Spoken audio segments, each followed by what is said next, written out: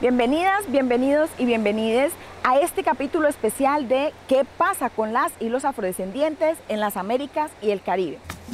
En este primer capítulo exploraremos la infinita conexión entre las comunidades afrodiaspóricas y su entorno natural.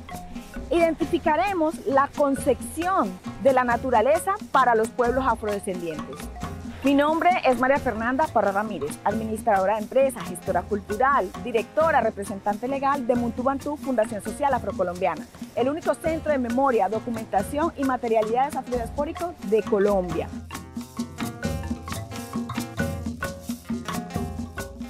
Para las personas afrodescendientes, la concepción no solamente es natural, es una concepción y una cosmovisión y una convivencia netamente espiritual con el territorio. Por eso el cuidado del mismo y en ocasiones digo que yo no puedo vivir sin la selva, sin la lluvia y sin estar rodeado de la gente negra. ¿Y por qué no puedo vivir sin esos tres elementos? Porque esos tres elementos hacen parte de mi ser y del ser de mucha gente en el Chocó, en Colombia en América, que fuimos arrancados, traídos desde las costas occidentales africanas y en este caso más concretamente desde la región central, la región de la selva húmeda tropical, que es la región Bantú, un entorno selvático, fluvial y pluviométrico muy parecido al Chocó y al Pacífico en general. A diferencia de Occidente, nosotros tenemos una cosmovisión totalmente diferente, donde esos tres elementos hacen parte del muntú, del espíritu, ¿sí? del ser en su integralidad, porque es imposible poder entender la lluvia sin la selva y la selva sin la lluvia y ambas sin el hombre que vive en ese entorno, que ha vivido en ese entorno y que su sustento, su vida, depende justamente de conservar el equilibrio entre la fauna, la flora y el agua. Para nosotros el río es todo, el río es la vida misma de todos estos pueblos. Y ustedes han notado, notarán que muchos pueblos del Chocó están a orillas de un río y que muchos pueblos del Chocó tienen una terminación do acentuada, que en lengua en veracatillo significa agua, río. Entonces, por ejemplo, tú dices do y estás diciendo entre dos ríos, entre dos aguas. De la población inicialmente queda en medio del río Quito y del río Atrato. Cuando hablamos de la concepción de la naturaleza para los pueblos afrodescendientes, siempre tenemos que hablar de valores espirituales y pragmáticos. Lo espiritual basado en las narrativas simbólicas desde lo cultural y en lo pragmático en todo aquello que tiene que ver con la naturaleza y cómo ese ambiente impacta la vida laboral. También en cómo hay una vinculación con la naturaleza por medio de vectores que tienen que ver con el trabajo, la pesca, la agricultura y la extracción. Si ampliamos un poco la idea de lo cultural, primero tenemos que hacer eh, énfasis en que no solamente nos referimos al arte popular o a lo autóctono, eh, sino en todo lo relativo al que hacer desde la visión propia de ese pueblo y su relación evidente con su herencia identitaria. Es decir, lo cultural incluye aspectos como el idioma, los dialectos o los vocablos propios de esas comunidades, la alimentación, eh, la domesticación y uso de especies vegetales y animales y también la propiedad intelectual colectiva.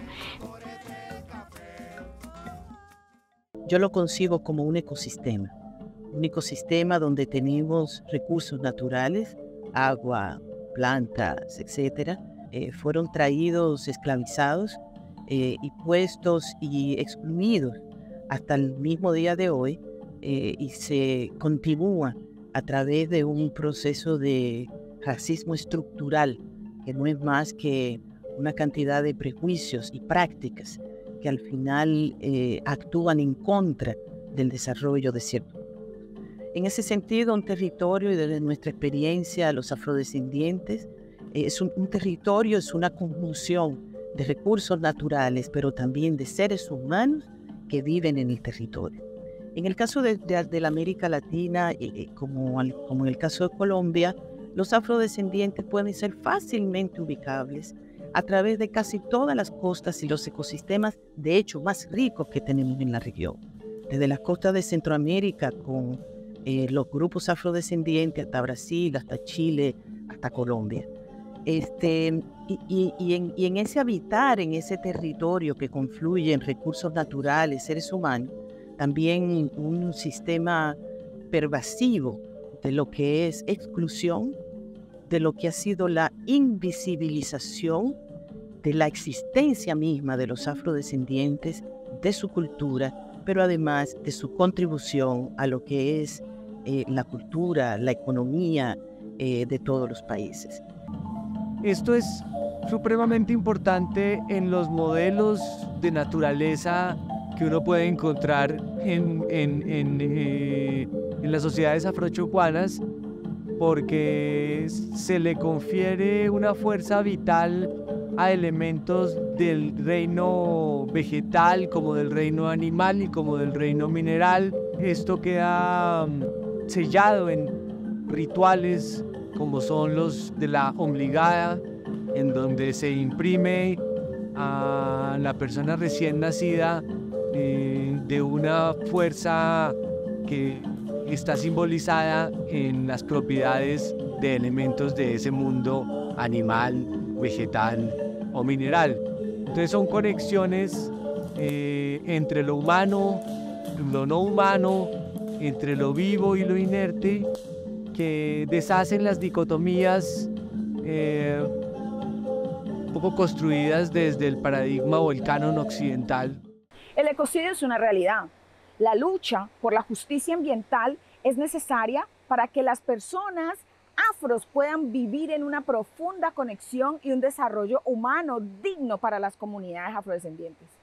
Y por racismo estructural yo me refiero no solamente a las actitudes individuales, ¿verdad? sino también a esas reglas formales e informales que de alguna manera han, han primado en las relaciones con ciertas poblaciones, las cuales las han hecho este, marginalizadas, ¿verdad? Eh, entonces, bueno, vemos cómo se reproduce tanto en las zonas rurales como en las zonas urbanas eh, este racismo estructural y al ecocidio yo le, le, pongo como, como la otra cara la necesidad de trabajar en justicia ambiental, sea en las zonas rurales o en las zonas urbanas, porque los afrodescendientes viven en, en entornos ambientales que no son necesariamente en lo más conducentes al desarrollo, a la salud, eh, a la vida de calidad, digamos. En respuesta a si hay relación entre el racismo estructural y el ecocidio, evidentemente que sí. El desarrollo económico exacerbado, la desconsideración con las personas que viven allí y toda la consecuencia en cuanto a la destrucción de la bioma, sí tiene que ver con esto. Pero más allá que hablar de racismo estructural, yo prefiero hablar de racismo sistémico, porque va mucho más allá. Estamos hablando de todos los componentes estructurales que impiden que en este caso los afrodescendientes tengan las mismas oportunidades que la gente no racializada. Esto va a incluir pues la cultura, nuestros códigos estéticos, nuestros valores eh, sociales, todo eso que mostramos ante los demás, las estructuras sociales en las que eh, nos relacionamos.